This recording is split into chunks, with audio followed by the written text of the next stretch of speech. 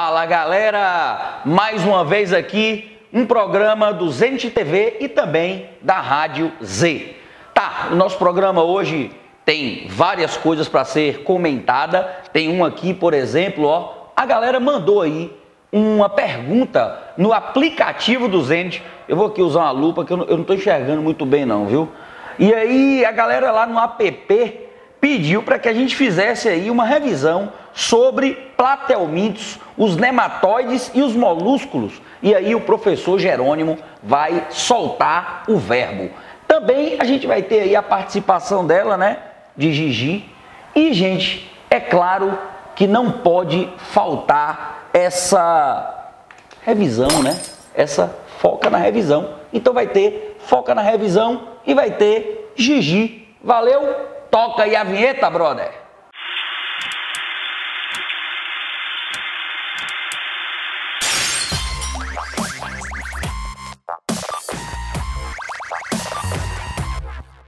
Sim, galera, vamos lá começar o programa. Vamos começar o programa com ó, ó, foca.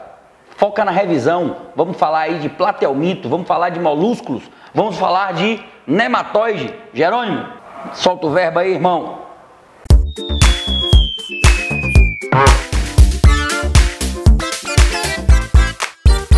E aí galera, beleza? Bom gente, estou é, aqui para vocês brevemente sobre três filos. Todos três são cobrados em provas de vestibulares, em, em especial na Consultec. E existem do, dois, duas maneiras sobre, a, sobre as quais esse, esses filos eles podem ser cobrados. Um é sobre o aspecto das novidades evolutivas que eles vão apresentar. E essas novidades evolutivas, elas estão associadas a quantidade de folhetos embrionários que esses animais podem ter, é, a origem de cavidades, dentre elas a cavidade celômica, e também com relação ao processo de cefalização. Então, com relação à primeira, então, o primeiro filo que a gente começa a apresentar é o dos platelmintos, que já são animais que têm tecidos verdadeiros, porém não têm cavidade é, celômica. Esses animais eles têm um corpo maciço, ok?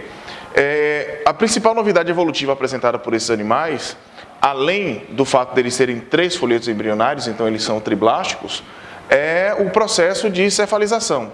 O processo de cefalização ele é uma, uma aglomeração de células nervosas e sensoriais em uma extremidade do corpo, enquanto a outra não é que ela fica sem células, mas ela, ela fica é, com a quantidade menor. Tá? É, esse processo de cefalização, na verdade, ele é uma consequência de um outro processo que existe entre os animais, entre os filos dos animais. Esse processo é chamado de simetria bilateral. Então a cefalização está condicionada ao aparecimento da simetria bilateral. Então todos os animais que têm simetria bilateral, eles vão ter fatalmente um processo de cefalização. Lógico, a depender do filo, você tem diferentes graus de cefalização. Com relação às planárias, eu tenho ainda uma novidade que é a presença de ocelos que são estruturas fotorreceptoras, cujo principal objetivo é perceber um ambiente claro e escuro.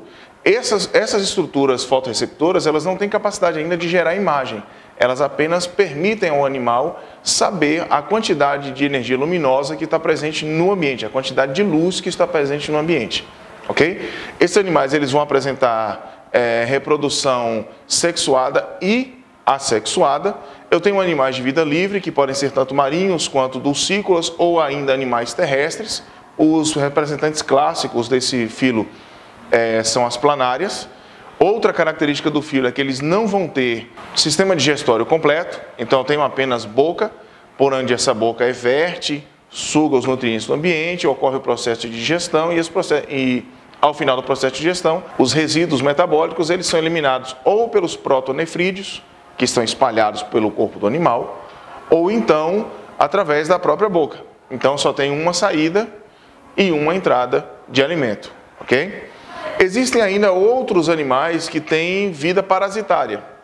O principal representante desses animais são as tênias, ok? Então, nos seres humanos, que são os hospedeiros definitivos, a tênia ela se reproduz por um processo de autofecundação, onde ela elimina as proglótides, essas proglótides eclodem no meio e são, podem ser ingeridas por outros animais, outros mamíferos, no caso pode ser o porco ou o boi. Dentro desses animais, ela completa uma parte do seu desenvolvimento, ela pode formar cisticercos. Esses cisticercos vão eclodir e formar pequenas larvas infestantes. São essas larvas infestantes que entram em contato com seres humanos e podem infectá-los novamente. Aqui eu vou abrir um parêntese.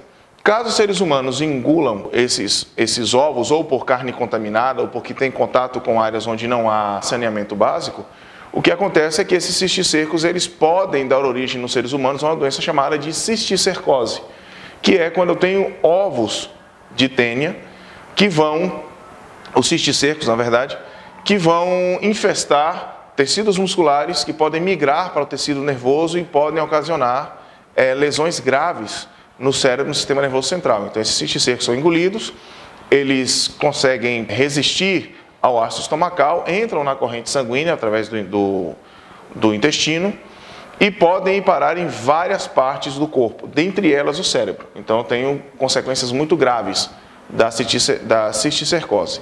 Um outro filo é o dos nematoda. Os nematoda, o principal representante desse nematoda que a gente conhece é um indivíduo de vida parasitária, que é a lombriga.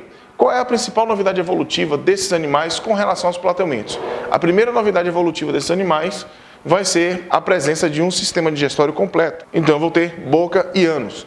É o primeiro filo de animal que apresenta esse tipo de característica, tá?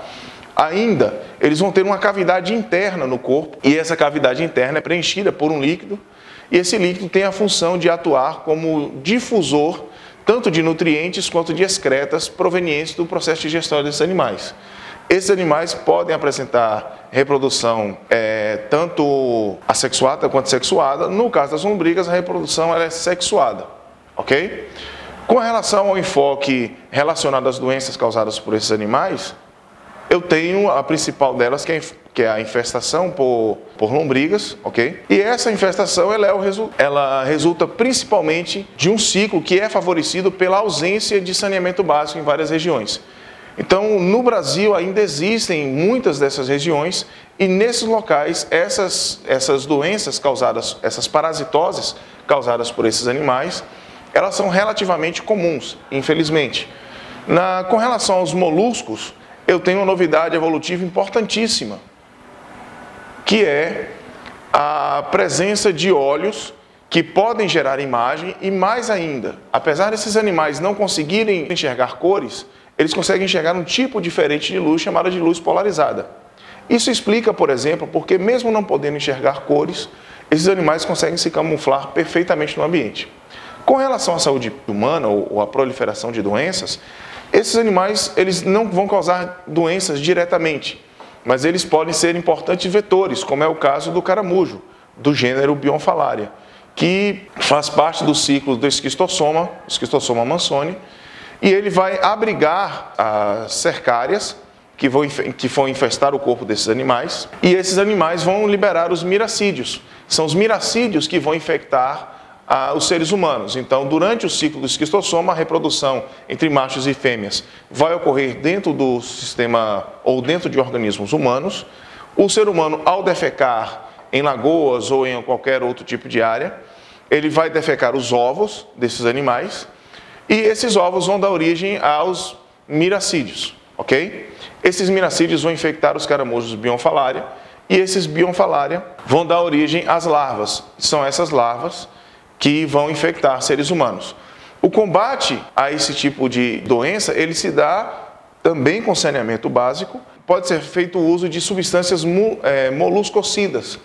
Então, nós tivemos casos na Bahia, em algumas localidades, onde algumas lagoas estavam infectadas pelo esquistossoma mansoni e havia ali a presença do caramujo, bionfalaria.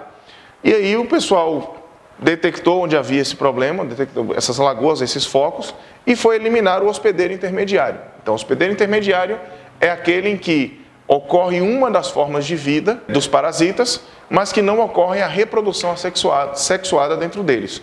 A reprodução sexuada é quando eu tenho a troca de gametas, e ela pode acontecer mesmo em um único indivíduo, que é o caso do, das tênias. Tá? Então, as tênias, embora se reproduzam por autofecundação. É, como há troca de gametas, há fecundação de óvulos por espermatozoide, eu digo que é uma reprodução sexuada, embora seja feita apenas por um único indivíduo. Beleza? Bom, galerinha, é só. Espero que vocês tenham aproveitado. Uh, deixem suas dúvidas ou sugestões ou, ou pedidos para as próximas aulas e aí a gente vai trabalhando, tá? Boa prova, bons estudos, a gente se vê na próxima. Sim, galera, não pode deixar de falar, né? A gente não pode deixar de falar de dela, de Gigi, de Gigi Zen. Gigi, mandei o recado, diga pra galera aí para não ficar perdido por aí, que na Olivia Flores só tem Zenit. Fala aí, fala pra galera.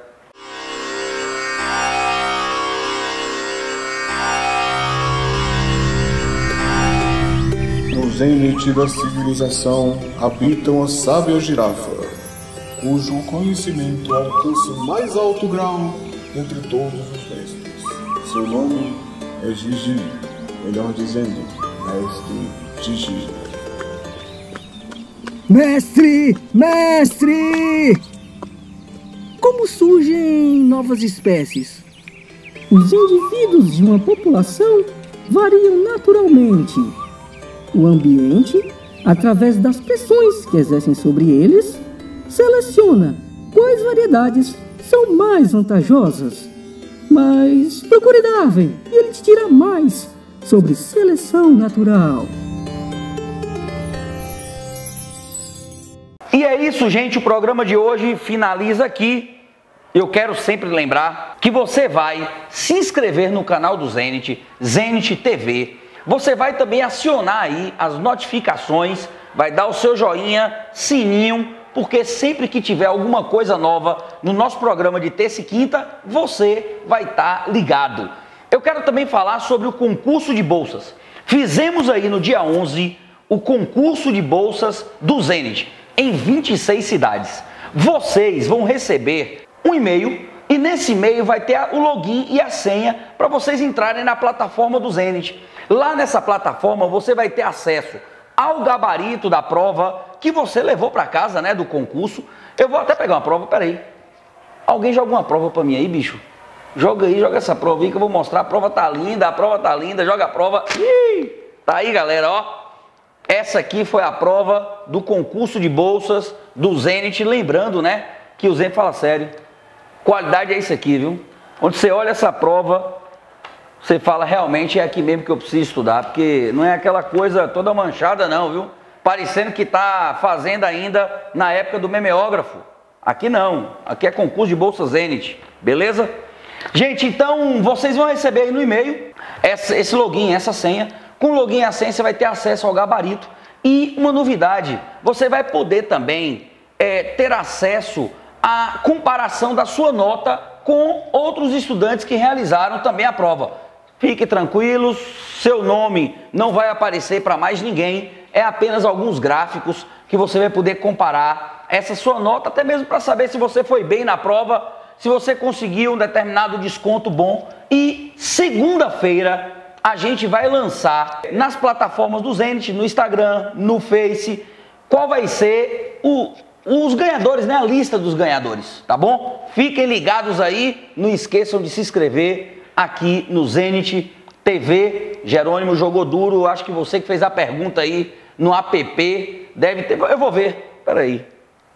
Aguenta só mais um pouquinho que eu vou ver aqui quem foi mesmo que chegou lá no app e pediu um professor de biologia para poder estar tá aqui acessando aqui o app. Vamos lá em dúvidas. Duas horas depois.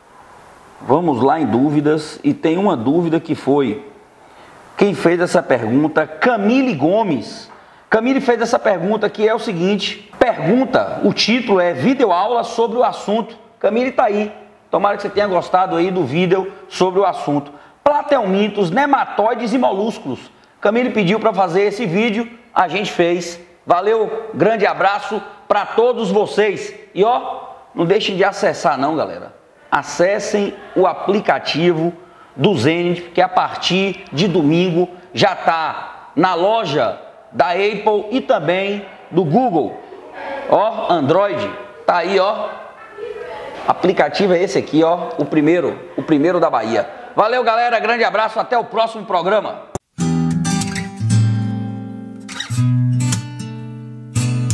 O ponto mais alto é aqui. Você confia e a gente aprova. O ponto mais alto é aqui. Itinerante, tenho paranoia. O ponto mais alto é aqui.